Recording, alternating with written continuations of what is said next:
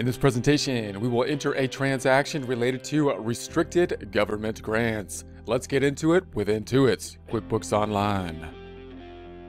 Here we are in our not-for-profit company dashboard. We're going to head on over to Excel just to see what our objective will be. Within Excel, we're on the fourth tab. So we're going to be on the fourth tab. We're looking at uh, 2C here, 2C, which is going to be the government grant used for education.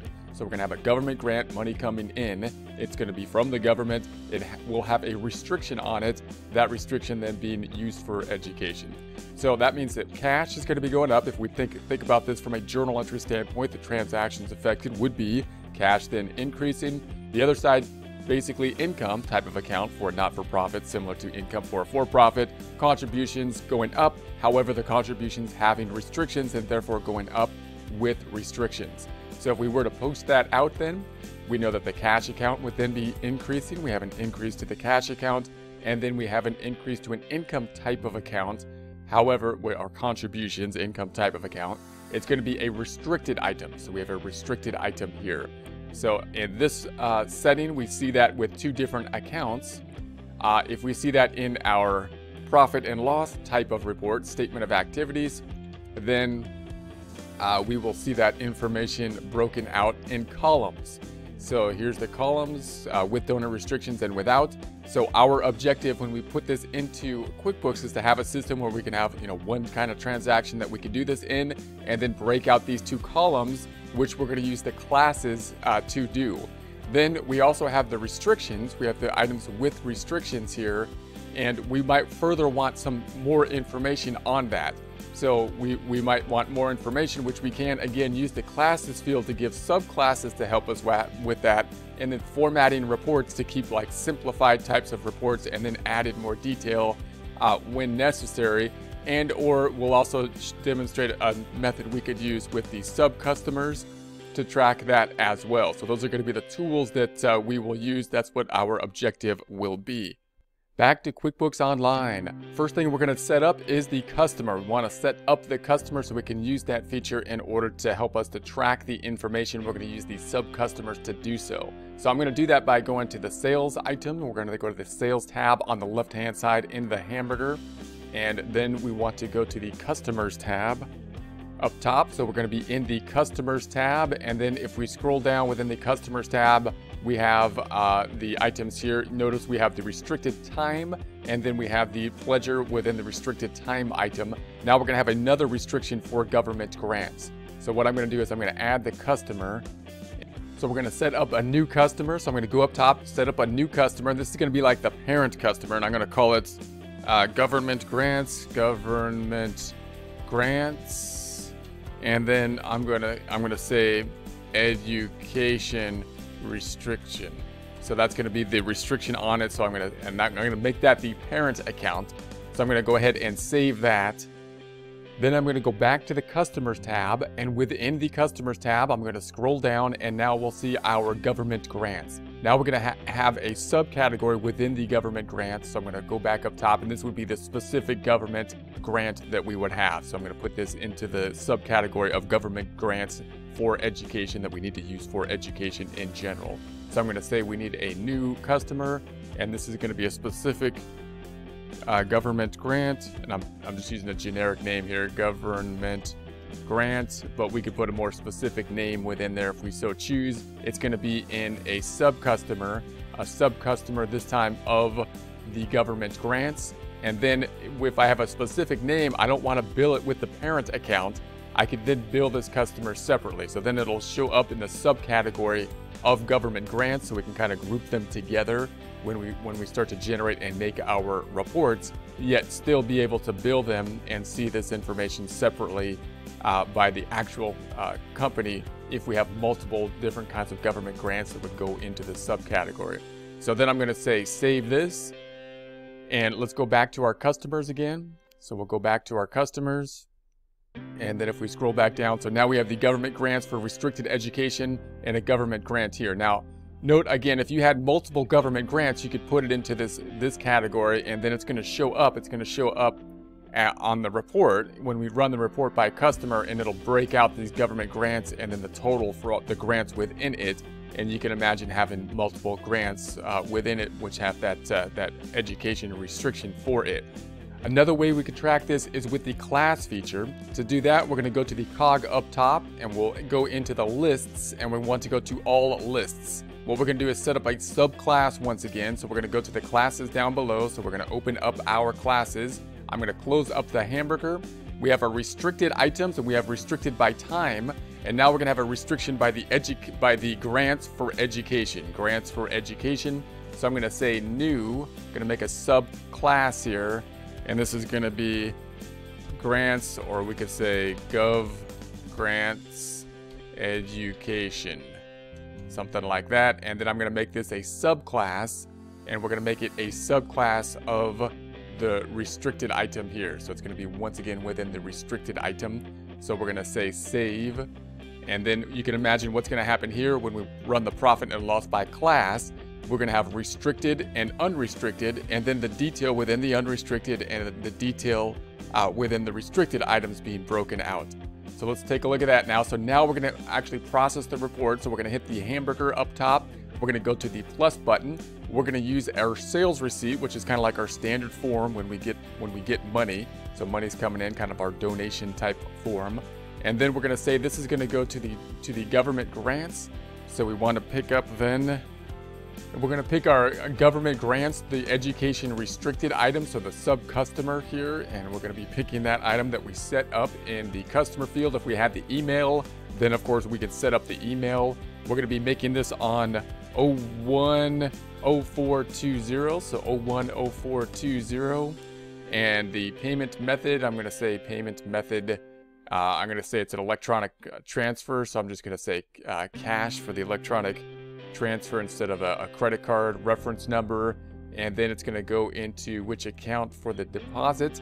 I'm going to be putting this into, an, and we can put it into either the uh, checking account or we might want to put it into the undeposited funds if we're going to have multiple funds that we're going to then put into the bank. So that's been our custom. So I'm going to pick the undeposited funds here so that we can put them into the bank in the same format that they will be shown on the bank statement.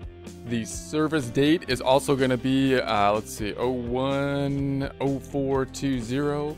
And then the product, we're going to set up another product. So I'm going to call it uh, government grants for the for the item here. So this is going to be the item that we're going to set up. I'm going to add a new item. So we'll say new item. It's going to be a service type of item. So we'll add the service type of item. I'm just going to call it a gov government grant and then I'm going to copy that. So I'm going to say, let's copy that.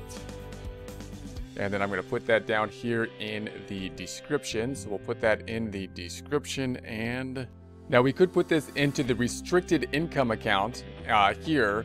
Uh, we might want to put another income account if we want a little bit more detail. So I wouldn't put a, do not put another income account for every type of grant that you have. That would not be good, but you might want to distinguish on the income statement in another income type of account government grants or possibly federal government versus state government grants. In other words, the overarching category of the grants.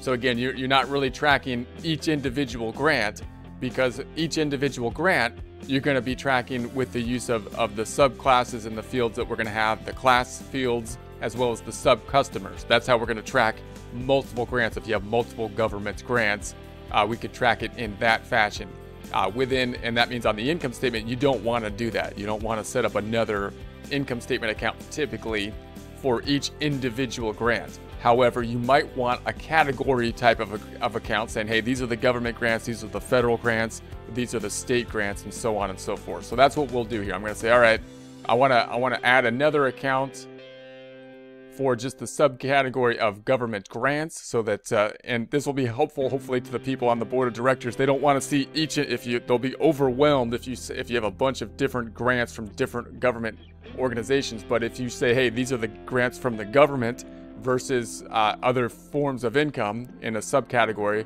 that could be useful information and not too overwhelming. So in any case we want an income type of account and then I'm going to say it's going to be other primary income and I'm just going to call it government grants. So government grants. You may want like state government and fed government if, if those are going to, if you have both of those, right? And you could distinguish between those two, but I'm just going to say government grants for our practice problem here. And then I'm going to say save and close. So there's our item. So then I'm going to say save. And then the government grants are here. So whenever we use that item, it's going to be going to that government grants income type of account. Let's pick up our amount then. Let's pick up our amount. Going back to Excel to check that out. So if I scroll up in Excel, we're on this one. That's going to be the 159,000. So 159. So we'll say quantity 1, 159,000. And then I'm going to put it into the class of that grant that we set up. So we're going to put it into the class of the government grant. And there we have it. So what's this going to do when we record it? It's going to go into undeposited funds until we then transfer it into the bank. Then the other side is going to be driven by the by the item here. The item is pointing to the income account we just set up for government grants. So it's going to be going into the income account of government grants. When we run a profit and loss by class, we'll be able then to see under the restricted items the subclass now of the government grants, which is going to be increasing on the income side of things as well. And we can also run a report by customer where we could see the grouping of uh, the restricted customers under the subcategory of restrictions, and then see this item in government grants in the restricted customer item, allowing us to track further uh, those restricted items and getting more detail on them. So let's go ahead and save this. So let's say save and send. I'm going to say save and close. Let's go save and close. And then let's open up our reports. We're going to go back to our reports on the left-hand side. So then we're going to open up the balance sheet. So here is the balance sheet that we opened up. And if we go up top, I'm just going to change the date range. So let's make sure it's in uh, 2020 01 01 20 to 12 31 20. We'll go ahead and run that report. I'm going to duplicate this report up top, going up top, right clicking on that tab up top and duplicating that tab. Then we're going to go back to the tab to the left. We're going to go down to the reports once again, open up that other favorite report, that being the P&L, the profit and loss, the income statement. I'm just going to open up the standard P&L profit and loss and then we'll make the adjustment for the profit and loss by class and the profit and loss by customer. So there we have it. I'm going to scroll up top. I'm going to change the dates up top from 010120 to 123120. We're going to go ahead and run that report. So now this information we've put in place, if I go to the balance sheet, we have increase. I'm going to close the hamburger here. I'm going to hold down control, scroll up a little bit to get this up to like that 125. That's where I like to be at that 125.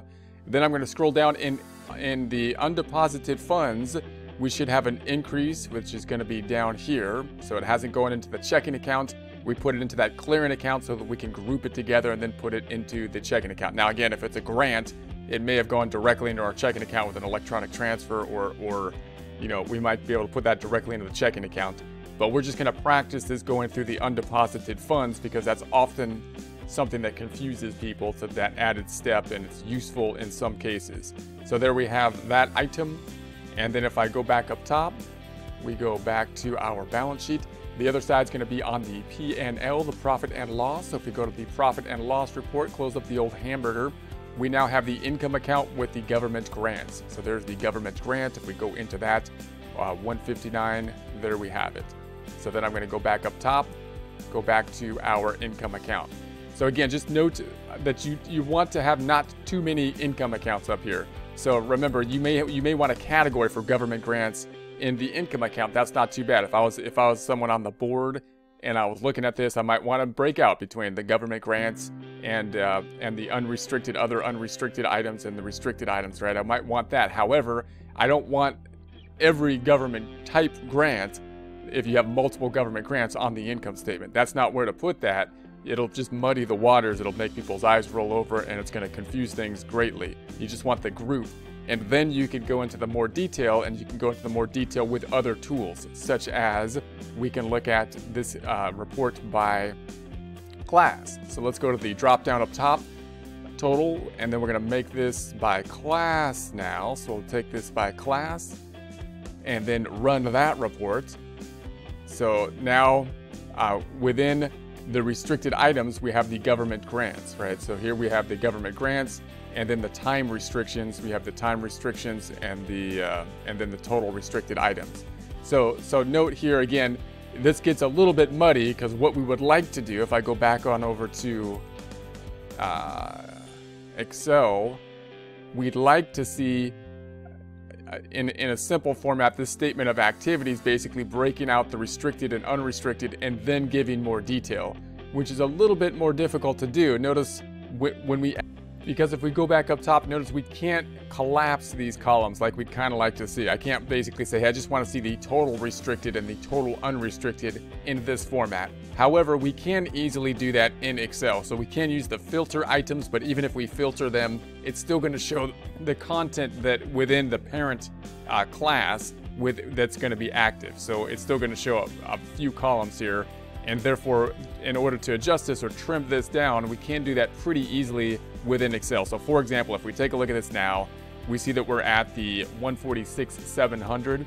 If we then go in then to the balance sheet, we're at the 146,700.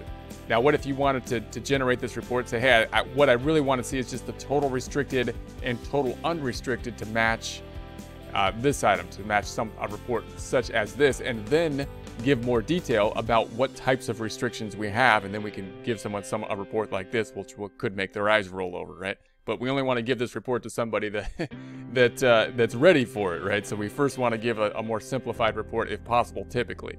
So what we're going to do then, what, another th way we can deal with this is say, I'm just going to export this report to Excel, export it to Excel, and then we will open up the Excel file. So we'll open up this file here. And then you can modify your report in here pretty easily. It's, it's a little bit of, of, a cumbersome thing, but not too bad, right? And what you can do, I'm gonna go, I'm gonna click this, I'll do this fast, and we'll do this again later. I'll take a look at the reports later on how we could format this uh, in, in more detail. So I'm gonna go to the Home tab, Alignment. I'm gonna remove the merged cells here. I'm gonna remove the merged cells because that makes it easier to delete some columns and remove the merged cells. And then what we want is this restricted column. Notice it has a formula in it right here. It has a formula. So what, what I'd like to do is, is just have that column. Now I could delete these columns, but it's gonna ruin the formula. So I could, I could hard code the formula or I could just use a hiding feature. So what I'm gonna do is just say, I'm gonna go from column B to column, to this column here, and I'd just like to hide those. I wish I could collapse them because you can in, in uh, QuickBooks Desktop, you can actually collapse the subclasses. But in any case, we're just going to say I'm going to right click here and then hide those columns. So did it do it? Right click and hide those columns. And then I'm going to go to here. I'm going to go to the these items and say hide hide these and then we have the total uh, total unrestricted and total restricted. So it takes a little bit, and notice I have this not specified. These are the expenses. We're gonna break them out to restricted and unrestricted at a future point. So once we do that, you will no longer have this column as well. And so we'll be able to hide that column. And then you'll just have these two columns and the total. So it takes a little bit of work to do that in Excel to export it, and you can't collapse it in the online version like you can uh, in the desktop, but that's not too difficult to do. And then if you want to expand these again, you can expand them across here, merge the cells. I like to, instead of merging, right-clicking here and using another feature because the merging kind of messes things up sometimes. So I like to go to Edit uh, the cells and then just uh, use the Alignment tab to say I want to align horizontal across the selected cells and then say okay. And that makes it centered without like merging these cells together so it doesn't mess up when I like want to delete columns or something like that. Any case, I'll keep that for now. I'm just gonna close this back out. We'll, we'll take a look at more of that at that kind of formatting in the future, but just when you look at a kind of an overwhelming report like this, uh, it's pretty easy to format that. I, I know it, you have to do it outside the system. You can't collapse it within here, but it's really not too cumbersome uh, to do that. Now, if you do want another report, however, to, to be breaking out like the, res the restricted items here and have this report be a little bit smaller by not having the subclasses, then we can use the other method. We're doing both methods here, and that's to track it by the sub the sub customers. So you could say instead of having, and you could just keep it as restricted column here, and then say I'm going to track the sub customers with another report, and say if you want more detail, we'll go to another report for the sub customers, and run basically the income statement by customer. So now I'll run the income statement by customer and run that report. And so then we have our information and there's the government grants uh, here. Now this will show all customers, so you'd want to customize this report and just pick up those items that are, are going to be related to the restricted customer items that we set up, basically the parent customers, and then you'll have all the sub-customers within it. So if we then go back down, I want to filter this, we're going to filter this by customer. So I'm going to filter it by customer. I got the customer checked off. Then if I select the drop down and then uh, scroll down, we've got our customer types. So we've got the government grants, uh, we're going to need that and the restricted time. And you may as well just check all of them off because once again, it'll show the detail uh, of those items within it. So we got the restricted time.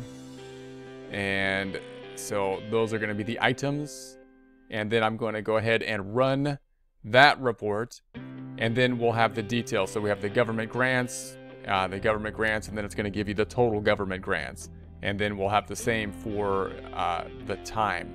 So once again, it'd be nice if you could just see the totals of this report, be able to collapse the detail and just see the totals for the two categories that you have here, but you don't have that function, that format, that format here. So you could condense this report, and again, you can export this to Excel if you so choose, and then just show the totals uh, of these restricted items without, without the three columns, without the detail of them. The bottom line is this total of the restricted he items here, this 167,000. I'm going to duplicate this report, or let's go back to the balance sheet and then open up another income statement. Go to the uh, hamburger, go down to the reports. We're going to open up another P&L and just take a look at the side-by-side -side comparison of these two formats of the income statement or the profit and loss. Then I'm going to open up another profit and loss report. We're going to run it for the same date range. That's going oh oh to be 010120 to 123120. I'm going to close up the hamburger, I'm going to run that report. Then I'm going to show this report for the classes. So I'm going to hit the drop down. I'm going to choose the classes, then run that report. So we're going to break this out by class. Now you can see the restricted items here, the government grants and the time are going to be the subcategory of the restricted items. And then the total restricted items are that uh, 167,000. 167,000. That matches the other format that you see on this report here as well. So, right, the 167,000. So, in other words, if you wanted to make this report a little bit smaller by classes, you can then not include the classes, all the detail for the restricted items, just get to that 167,000. You'll only have one column for it. And then you can find the detail of that 167,000 by running this report and then you could, you could use that method if you so choose, or you can you can have the detailed method uh, within the classes here. So there's a couple options to to uh, track this information. And, and, again, your goal, what you want to do, is set up a system where you can give it in a in a more refined kind of format, like we say, and then expand on that format when you're presenting uh, the reports to say like the board of directors or something like that. So in any case, that's going to be it for now. Let's get out of here.